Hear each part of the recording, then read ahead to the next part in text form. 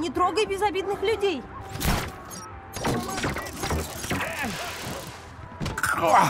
Не знаю, даже бежать или смотреть.